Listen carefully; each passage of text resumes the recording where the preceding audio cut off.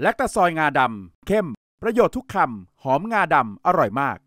ดูเรื่องของธนาคารทกสกันหน่อยนะคะ กับการปล่อยกู้ค่ะ ช่วงเวลาที่ผ่านมาเป็นอย่างไรกันบ้างนะคะ เรื่องนี้คุณจุลพันธ์อมรวิวัฒน์รัฐมนตรี ช่วยว่าการกระทรวงการคลังนะคะ รวมถึงยังเป็นประธานกรรมการธนาคารเพื่อการเกษตรและสหกรณ์การเกษตรค่ะ หรือทกสเปิดเผยว่าที่ผ่านมาเนี่ยภาคการเกษตรของไทยก็ได้รับผลกระทบ ทั้งจากปัญหาของโควิด -19 ความขัดแย้งทางการค้า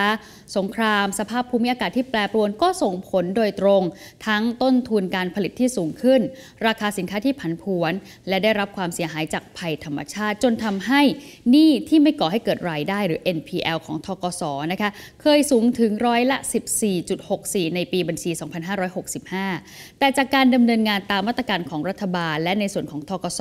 ทำให้ผลการดำเนินงานในปีบัญชี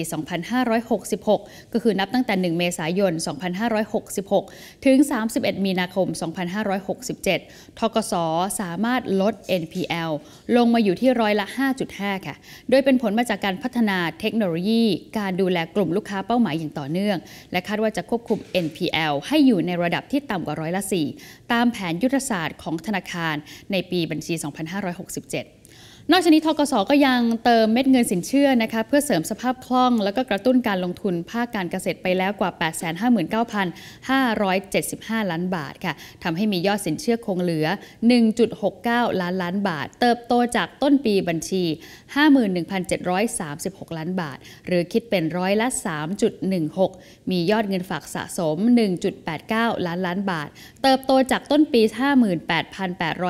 58,822 ล้านบาท คิดเป็นร้อยละ 3.2 22 โดยสร้างฐานการเติบโตนะคะในกลุ่มลูกค้าใหม่ค่ะ เช่น สลากทกสชุดถุงทอง วงเงิน1แสนล้านบาท และสลากดิจิทัลค่ะ มีสินทรัพย์จำนวน 2.3 ล้านล้านบาทนะคะ ส่วนมาตรการพักชำระหนี้เกษตรกรรายย่อยให้กับเกษตรกรที่มีหนี้รวมต้นเงินคงค้างทุกสัญญา ณ วันที่ 30 กันยายน 2566 ไม่เกิน 3 0 0แสนบาท มีผู้เข้าร่วมมาตรการแล้ว 1.84 ล้านราย คิดเป็นร้อยละ 92 ของลูกค้าที่มีสิทธิ์เข้าร่วมมาตรตรการ นอกจากนี้ก็มีการลงนามบันทึกข้อตกลง ต่อท้ายสัญญาเงินกู้แล้วค่ะ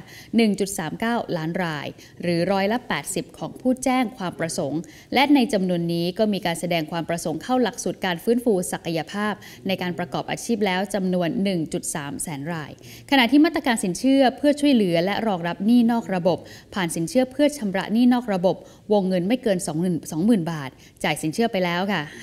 545 ล้านบาท และสินเชื่อกองทุนหมุนเวียน เพื่อการกู้ยืมเกษตรกร และผู้ยากจน 9,572 ล้านบาทด้วยกันค่ะขอบคุณสำหรับการติดตามรับชมรายการย่อโลกเศรษฐกิจนะคะ อย่าลืมกด subscribe กดกระดิ่ง กดไลค์ กดแชร์ในทุกช่องทางออนไลน์ของ TNN ช่อง 16 นะคะ แค่นี้คุณผู้ชมก็จะไม่พลาดค่ะ รายการสดและก็คลิปดี ๆ อีกมากมายค่ะ